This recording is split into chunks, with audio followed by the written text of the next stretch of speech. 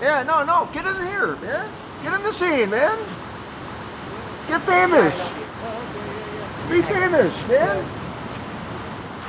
He's a true artist, freak. A San Francisco. You know, when I think of Mr. Skateboarding, I, Pierre comes to mind right away. The legend, the dog, Pierre. Pierre slept here last night because he loves skateboarding. Look at that style. This guy has been where no man has gone before, and he loves it. Frontside layback, frontside rock. Usually I, I talk to myself. Everybody talks to himself. I'm gonna, I'm gonna interview myself. What's this guy's gonna throw at you? Blah, blah, blah, blah, blah. Oh, this is where I was raised. I was, uh, I was born in uh, San Francisco General Hospital. And a couple foster homes here. I've been here for a long time. Look, look, look. Look, look at these guys. Oh, see, they get stuck on purpose, man. They know I'm here. Yes. Look, guys, it's carbon material. Oh.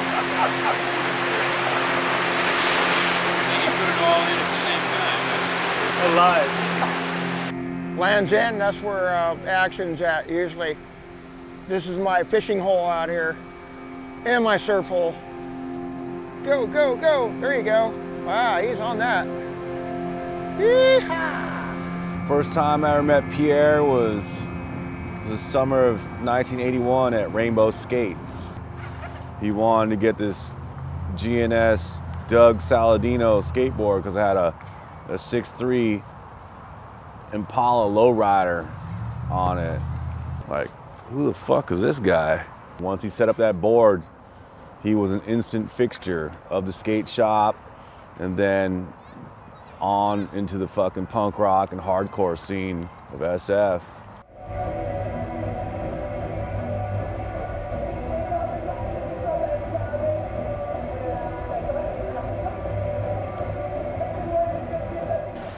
Uh, just to try something new instead of uh, get out of the, the gang violence. I used to be in gangs in uh, San Jose. Since I started skating, it was all it was all. I had to stick with it.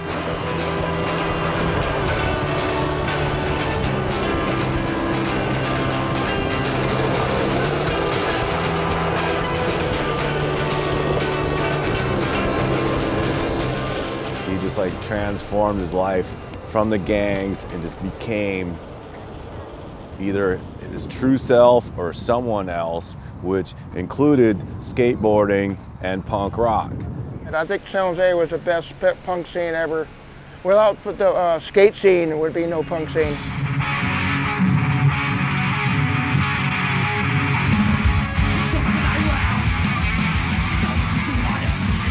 Gavin Corey, Steve Caballero, Bob Schmelzer, Rick Blackhart. I think I'm the first one in, in the pit punk scene. San Jose, San Jose brought a lot of memories when I go to hang out with Bob Schmelzer from Circle A. Oh, yeah. Dude, I even forgot the fuck I first time I met you. I forgot. too long. man. It's like, no, I'm not brain dead, but No, I know. yeah, it's just like IMA I should have known you what, what 40 years has to be. when you were a freestyle pro. I think LA was the first uh, punk scene ever from uh, Dogtown Boys, uh, Z Boys. I know Jim Muir and uh, Mike Muir from Su- Mike Muir from uh, Suicidal Tendencies. My favorite music right now: Faction, Clay Wheels, Ray Stevens, Mofo, uh, Drunk Injuns, Descendents. I got the see Descendents tattoo on both sides of my neck. Brian Brannon, the singer of JFA. That's one of the best bands. Team Pierre. He was just a fixture at all the shows, you know, at the Map, Farm, on Broadway. He was everywhere, skating everywhere. independent like fishing hat on, and he would stand out front, with, you know, in Bomb Hills. if you remember how on Broadway was, it's full of fucking traffic, and there it was a, near a police station, and the only ways to get off of it, off of that street, if you were off of Broadway, if you were being chased by the cops, were either up the hill by Finocchio's, which is impossible. It means you're taking your board and running, or down the hill by the what, what's now the Hustler Club, and that's a, that's hairy, man. and so to be riding down the middle of the street with no fear is something. Yeah, the farm was the shit, man. Right? Yeah, the Wow. farm was awesome, and then we'd see, you know, Pierre would be there and hanging out and all that. Well, I always thought the farm was a cool name, not realizing that it was an actual farm. Like in the basement, there was animals down there, dude. Like cows and horses and chickens and shit, you know? the, the dollar beers out of the garbage can, and it was a fucking free for all. It was cool shit, man. I'd sit outside and drink, and then go in, and people be like, "This fucking park is a gang park. What are you guys doing out here?" But back then there was no skate park, and basically what it was is like punk rockers, skinheads, skaters, jocks. I think were hanging out there. Like everybody was there. But I think the best show I've ever seen there was Bad Brains. And that Bad Brains show, I remember DRI played before the Bad Brains, and it was fucking Skinhead Nut House, right? Like during that, like they did the Wall of Death, where they all like stood at the stage and then turned around and just charged the crowd, and it was all skinheads. It was crazy. But then when the Bad Brains played, a Couple songs, thrashing. And next thing you know, bam, reggae. Everybody calm down. Incredible. for people who don't know, our Potrero uh, skate park is the park behind the farm. Dude. What a kook. Look at this guy. Holy shit. God damn. Really? Wow. That's been a long time, Pete. Yeah, at the farm. at the farm in San Francisco, down at the end of Potrero Avenue. I actually held an event here, um, uh, a skate rock, uh, Drunk Injuns, beyond possession, septic death. I mean, the place was packed. Now, the people who put this thing on, Thrasher Magazine, they are cool people, right? Now, they put out a record called Skate Rock Volume 3 so that they could show all the different kinds of bands. We put a song on there called Burial.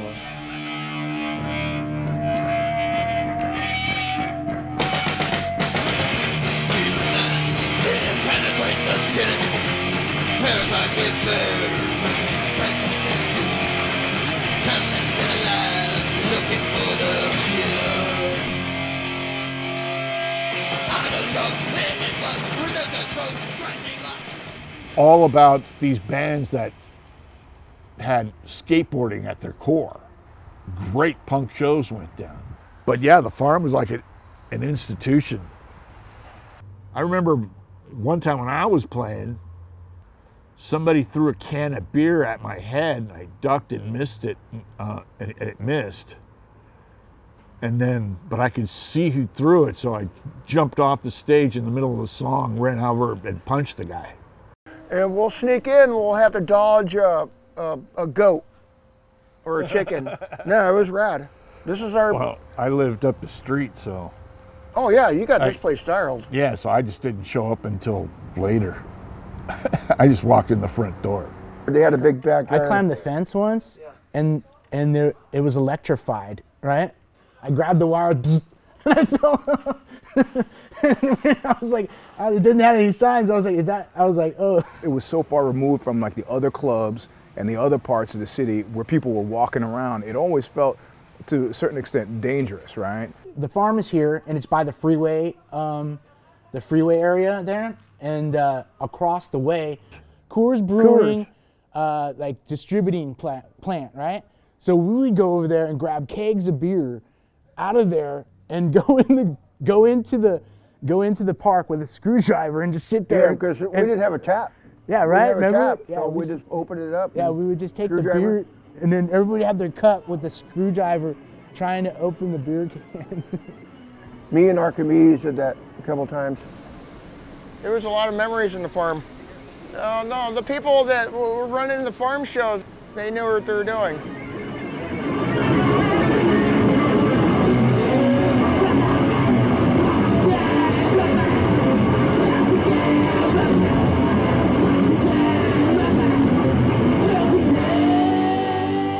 Verbal abuse. I was raised with those guys uh, on Broadway. Very good. Really big scene.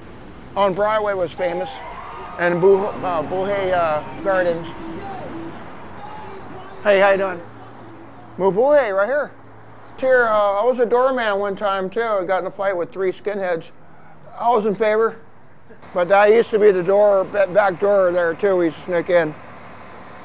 Verbal abuse, Drunk Injuns, and the boneless ones.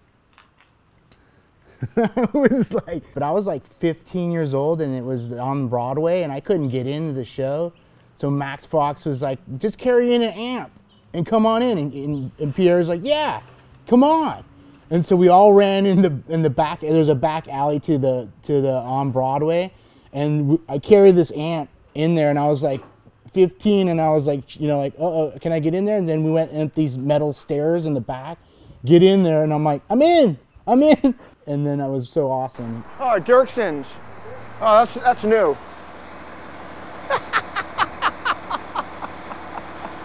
the bats. The bats. The vats were rad. The the vats were the old Hamm's brewery. People would would convert these large vats, these large cylinders that used to contain beer. They would uh, live in them or use them as rehearsal space. Then you'll see the big giant tub when they have the beer, but uh, it was like whoa! And you got everybody's got their little spots. So I got into many a party there, man. It was creepy, creepy as fuck. Smelled like beer. It was 82 or 83, and you know, everybody was rehearsing. They had all broken out the inner walls so you could scramble from top to bottom like a rat, like between these walls. So you would hear the music of different bands coming up, and there were no windows, so you had no sense of time. And of course, crystal meth, you know, if you don't have a sense of time, and you take a bunch of crystal meth, man, that was a scene that was just never going to stop. You know, just people walking around like zombies. You know, I, I don't really know what was going on there. I, mean, I didn't even want to know. The punk scene in the 1980s in San Francisco, it was awesome. Uh, it was really free form. It was wide open. It was it was like the entire city of San Francisco was like this free punk rock amusement park, and um, you know, it didn't know it. Walk in, MDC lived there, uh, verbal abuse, a lot of punk bands because nobody had money in them days. Nobody had money. Maybe a job here and there, but yeah, we're all poor. But in them days, were you know, 50 cents here, 50 cents, oh, seven dollars. I can get that in what hour? Next thing you know, I'm in, I'm in the show. Two, we're at a show and I remember we are skanking around, and all of a sudden, as we're skanking around to Whipping Boy, one of the bands, dude jumps off stage, starts skanking around in the pit with us as well, and everybody got hurt. Like the guy was so gnarly, he was doing backflips in fucking boots with spiked bracelets on, You're backflips. Right. The gauntlet. The, yeah, exactly. And the backflips are coming on top of people. So slowly but surely, everybody like one at a time is like, "Fuck this, I'm yeah. out," right? That, that and all we're all sitting in the chairs watching the show, not wanting to skank. Fucking Eugene, I think is the name. Dude, that He's out there skanking around by himself. and all of a sudden you come running in, it's the first time I've seen you, on the backs of the chair backs. You're running on top of the chair backs. You got knee pads on, some blue rectors with yellow straps flapping. You got your skateboard in your hand, and you literally dove into the pit like this and took everybody the fuck out. And that put Eugene down, and then all the skaters got back up and started skanking around, having a good time again. It was fucking epic. So as a singer, I was trying to like liven things up. And when Pierre came down and like we started rolling, people were like, oh, he's not gonna beat us up if we liven up. And we can liven up. And Pierre's a skater and he livened things up. I got a sense that he, he became uh, a larger than life personality to a lot of other people especially where I was at a location. They go, oh, there's Pierre, man. I heard some weird things about that guy. I'm like, well, I've seen some weird things. Fuck yeah. Yeah. Mad love, mad love, mad respect. I mean, part of my my growing up into skateboarding, there's Pierre.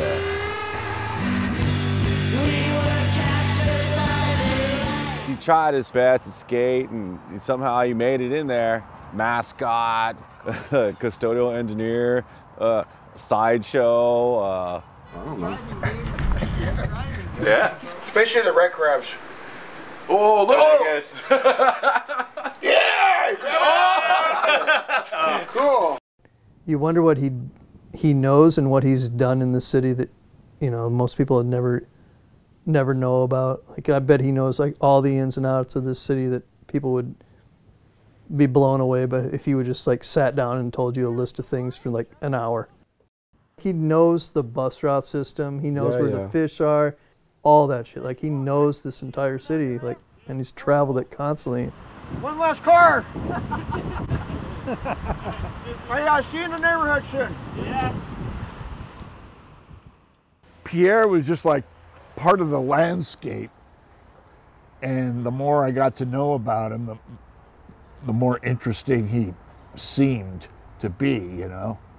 Man, a few words, but the, each word was chosen wisely, and it was. It made you sit back and wonder, like, what runs through this guy's mind all day, every day, you know. I'm gonna get one. Wow, that's a tough one. Um, the attitude of the people. People have got to clean up and uh, take care of their city. Of course, I like to help people out. Uh, make it a, a friendlier place, bartering, trading, human level, where it's not all about the money. Two, if he were actually to run for mayor and what the city badly needs is something to, to reinvigorate its relationship to arts and culture. As far as I know, he's never paid attention to anything else. He'd be good for that. There'd be like fucking hot dog stands everywhere. Bait and tackle or fishing shop like every block. He'd get all cars off the road. He'd put a cross guard on a crossing guard on every corner. He sees cars driving by. Cars need to slow down. This morning he's like, get off the phone. For a guy who's never driven, like he's yelling out the window at people, "It's a stop sign!" Actually, and they're in the wrong. Like you did run that stop sign. 180 oh, over the- hey, what are you, the hey, left car. hey, hey, what are you doing? Whoa. Uh, go ahead. Sorry about that. What'd I miss? Sorry. Oh, well, that lady that crossed the red light. Uh, oh, Whoa. Sorry. I don't think he should actually be the mayor because there are some things that maybe if left up to Pierre might not be good for some of the rest of the population. On that note, he should somehow be involved with the park service looking out for the beaches. Yeah, he's like a park ranger. Yeah, and He's a city ranger. yeah. He's already got his camel gear going, so Yeah, exactly. If he had a badge, he'd look official. I I think I like him unofficial.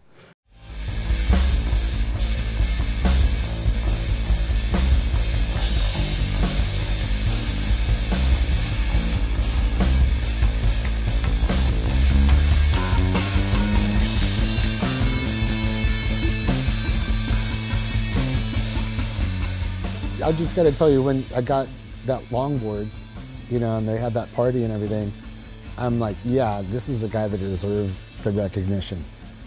And how well known people know you. And the crab man, the you know, picture in Thrasher of you, you know, with the crab in your mouth, and then the crab attacking in the city.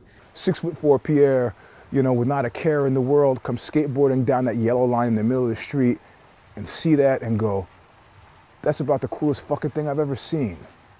I guess he's famous for being Chef Pierre. I was living up Duck Neck. So he just, I mean, eating crazy shit. After skate sessions, uh, El Farolito burrito shop down there on 24th and Mission, and Pierre would uh, like chug the whole bowl of like salsa at the table, you know. You know, like when you go to Taqueria, you just eat all that shit. All the time, every time. to where they stopped putting them out. you had to ask for it. No, he got the cra- the crab man uh, nickname from eating them crabs, you know, fresh out the water. Well, I invented that. We needed more substance in the uh, in the magazine, so start off with writing this adventure. The, the author of Scarfing Material is a Vietnam vet who lives in bushes and he hates people. We go from there. So, and after a while, I just started making shit up. I'm like oh man, okay, this is horrible. I don't have any, who knows what this is gonna taste like. Uh, spam, baby food. Oh, done. That was the recipe? Yeah, uh, spam, baby food, and a few other things. I forgot what it was. I didn't make Beans. Mofo, beans. See? Maybe a couple, uh, couple raw eggs. Raw eggs. Yeah. Doing mostly scuffed material at Bryce's house. He had the kitchen and everything. Bryce, he had a kitchen. and everything, like a bathroom too, right? I forgot. It just been a long time. I remember drinking bowls of hot sauce or salsa Salsa. for um, Salsa. for money. Yeah, yeah, salsa. Like, That was my favorite. if you give me five bucks, I'll drink that. Yeah. Cool. Now I got five bucks. I can almost buy a beer. Freaking one of the first times I met him up in, in Rosa skate park, I think. And he's like, what's up? Meets everyone.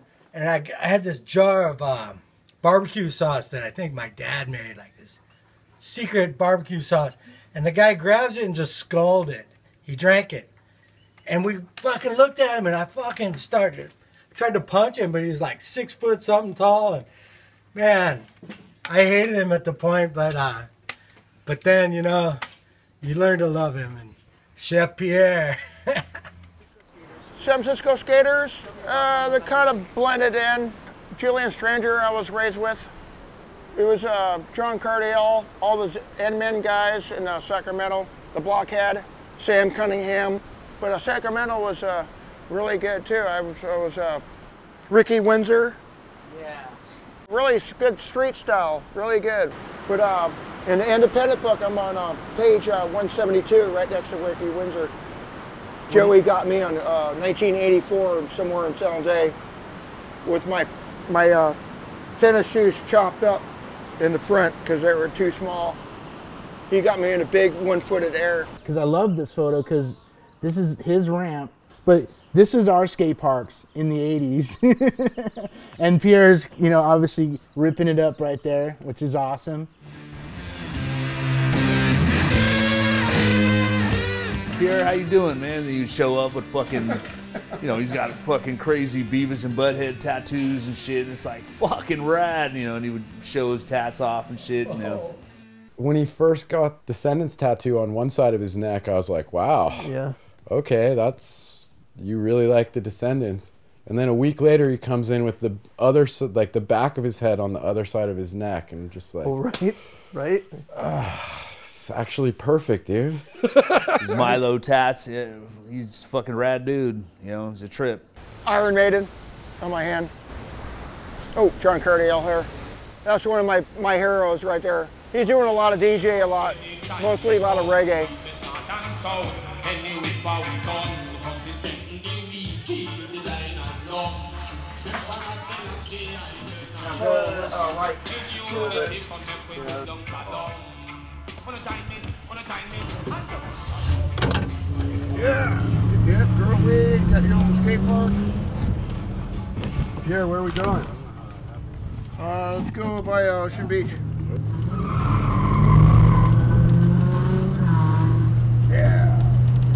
that sounds rad. I want to be a Lyft driver.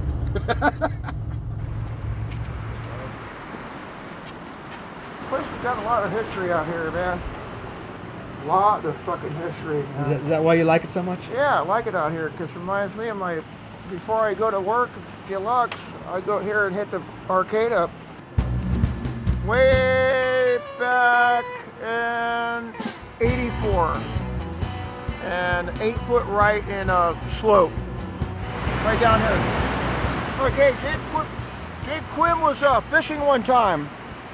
A little bit more water than this. And in fact, I was out here about 100 yards out. So I got sucked out in this area right here. And I climbed down right up here, this rock here, and they rescued me. Yeah, good to be alive. What's that bird? Where else do you like to skate? Street, Uh, mostly DMV in the weekends. Whatever I can get to, man, I'll skate. Wallenberg's fun. Hunters Point, uh, guy named Sam Finger, younger guy, used to own a ramp there in the backyard. And his uh, dad built an old house all falling apart. So I used to sleep in there and inside once in a while if it's nice and warm. I'm sleeping underneath the tombstone. Couple bong hits here and there, listen to some Devo or whatever. Learn how to drop in. I was a flat bottom rep. Coco was uh, teaching me how to drop in. And um, I'm standing on the deck, and this guy comes out of the um, the extension, the tombstone, and totally freaked me out. And I was like, oh, I was like, what's up? And he was, I thought we were busted, like we couldn't skate here or something. And then it was Pierre, and he's like, hey, how's it going? And uh, I just kind of froze there, and Coco's like, what's up, Pierre? And that's when I knew Pierre was cool, you know, he skated. Can we skate here? And he's like, yeah, of course, skate here. And then that was like the first time I met Pierre, and I was like, oh, it was amazing. Then after that, it was just like uphill from there. Yeah. And then uh, I was in the tombstone. Yeah, right. Living in the ramp. Yeah. Hey, I was homeless for a while, so I had a board bag and I used to sleep in it, wake up early in the morning and do fakies for a couple hours. And Even like we burying heads, we would just skate the streets, man. You know, leave P2's house up on Highland, bomb down Mission, and hit every curb and wall ride, whatever there was. 24th and Mission Banks, definitely China Banks. We hit a Safeway curb, bombing 9th Ave, backside 9th. How can you forget the dish? The dish was the, the funnest piece of shit. It's And crazy broken bottles everywhere and shit. for SF that that was our that was our skate park for many years. the dish was all right after the shows. We get a bu- bunch of beers and go up there after the show and skate till two and till nine in the morning. We had a contest there a long time ago. It was called Day of Hill.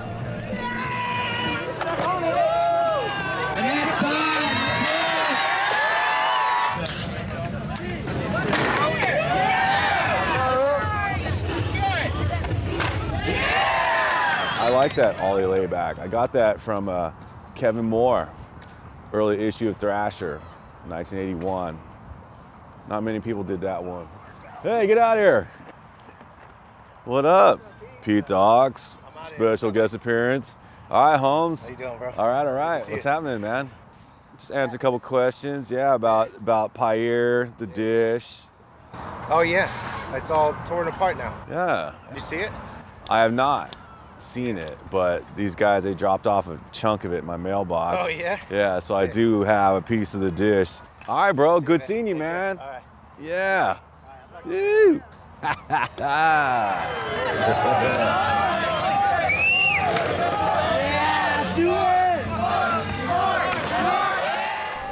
All these bloods are going crazy on us.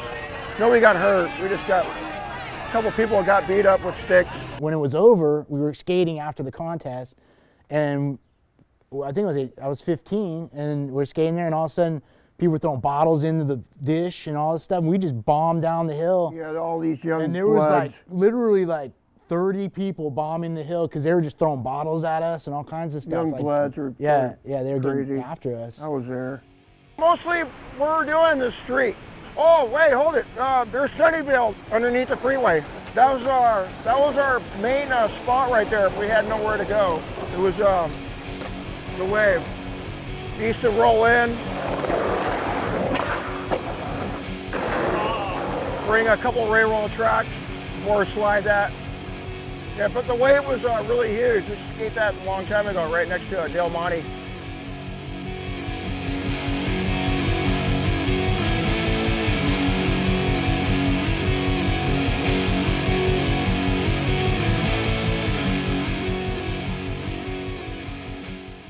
Cap Story. Oh man, he's my hero, man. I skated his ramp a few times.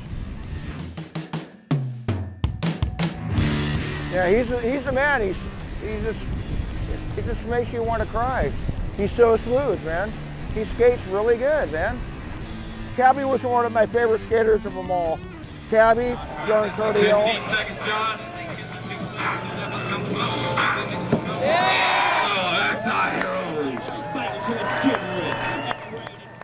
It was a 1984. Uh, I was uh, 24 years old. Matter of fact, I'm in, in, in, a video. That's where the Dead Kennedys were played. I was I was on stage and uh, just messing around, thrashing, and try to tackle uh, Jello Biafra. I remember that one. He kicked him in the head one show, but it was not revenge. It was just all the punk saying. Being Pierre was job number one.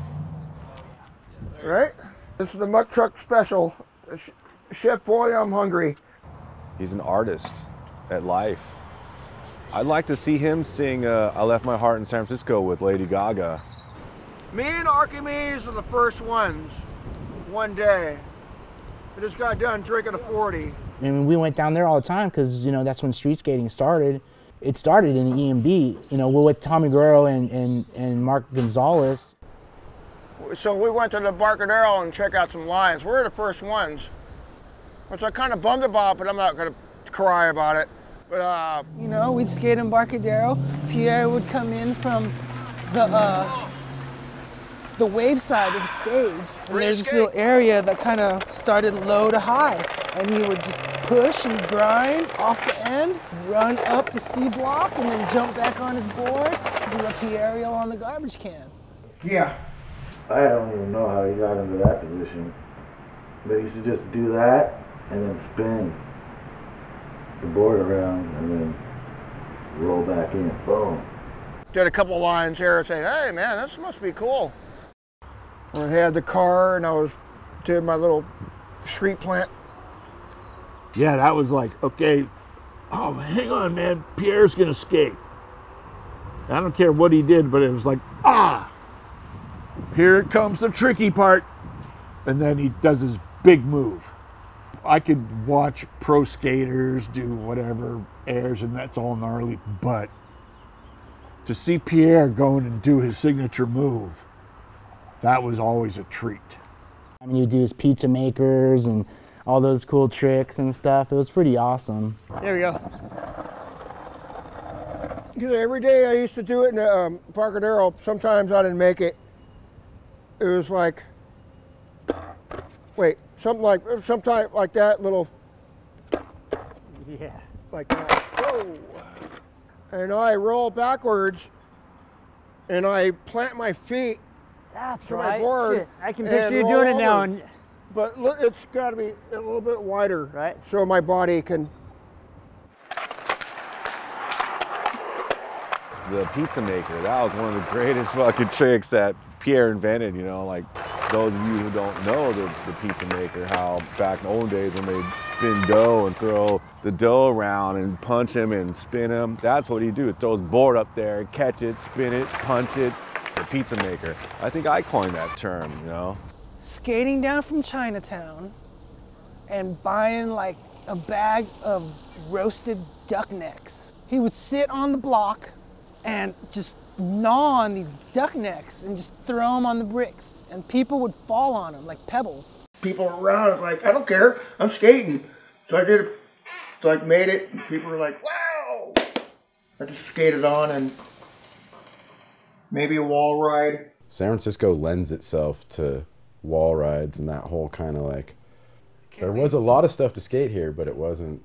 You know, you had to be creative and. Mike Carroll used to hang out there all the time. Pretty cool. Mark Gonzalez, he was out there busting some gonzas.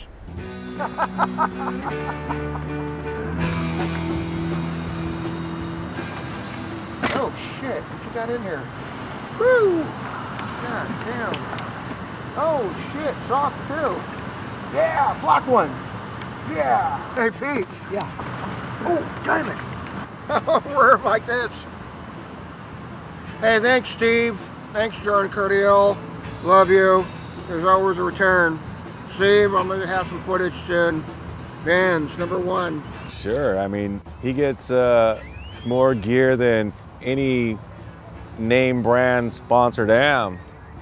I mean, that says a lot, man. I mean, personality goes a long way. You know, we got stuff from Powell, you know, but also from like Tommy and Jim or, you know, with FTC. Trugy, everybody.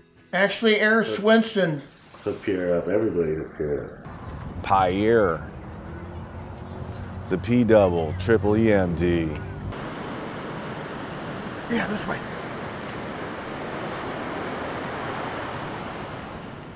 I used to be scared going through here, but I'm over it, man.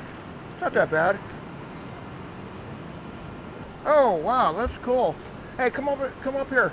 I never seen that before. That's cool. I like that.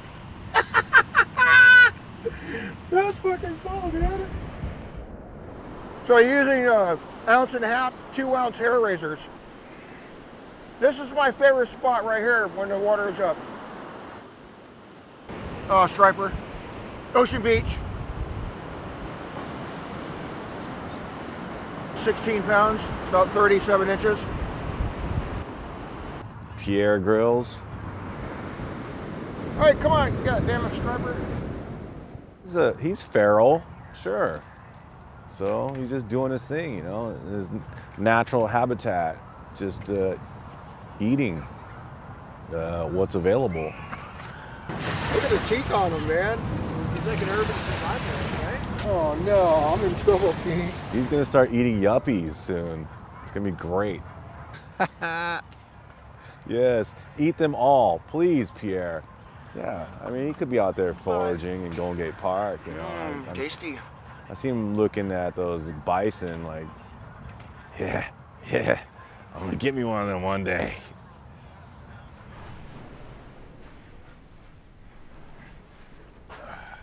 Matter of fact, this is the first time in 15 years I've been here. I've been here one time, but it's, you know, it's kind of scary. Oh yeah, look at that. Wow. Actually, somebody fell off here a couple weeks ago, some tourists. Woohoo! I will do personal my, my portfolio. Artwork, man.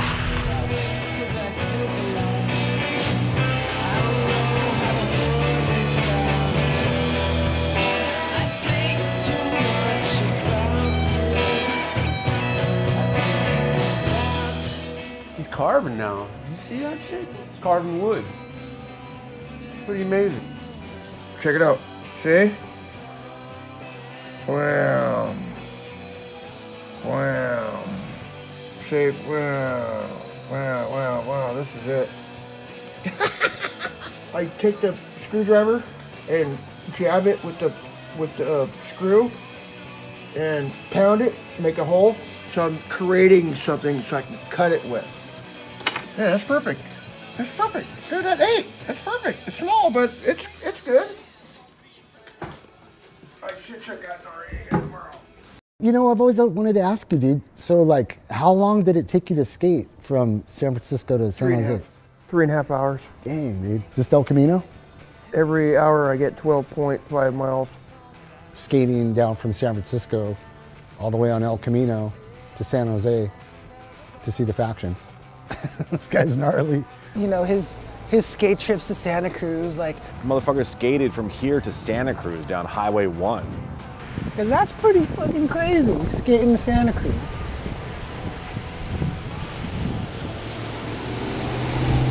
To surf. Everywhere I went for a while there, there was Pierre. How he got there, I don't know. I took a plane. He said he skated. so I just have this image of Pierre skating down the coast of California. How'd you get here? I skated. Mind blown. I'm like, I just couldn't concentrate on everything that I was doing because I kept thinking about him pushing down. Where'd you sleep? Showed me the skateboard. Of course. And so I'm like seeing all these people that I see in San Francisco, but you got the monster of them all. This guy who's so dedicated to skating. Did you skate to Sacramento? No, that's too far. Yeah, but San Diego, that's fine. and it's so funny, like the young skaters and all the new generation, he just cruises around on his bike. He doesn't skate around. And they don't know who that guy is. You know, how important that guy was, you know? And he is. He's still alive. Cheers to you, Buzz. Just keeping it real. Just still alive. no, uh, they left me when I was six years old. Matter of fact, all these guys, all all these skater guys are in my family. I think uh, part Indian, American Indian. Look, uh, I was 16. I was in Milpitas, one of my foster homes. Got to find my parents one of these days, and after for a couple of years, just kind of faded away. Make a lot of friends. Friends help. If you need advice, ask uh, other people that know.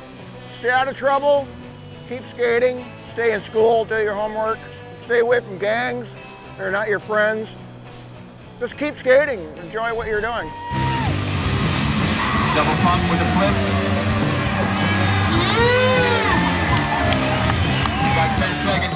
And over the fence and out. That's Pierre. Go, go, go, go, go, get it, get it. Oh man. You're fucking long live Pierre. Oh, yeah. Go, go, go. There you go. Wow, he's on that. Yeehaw.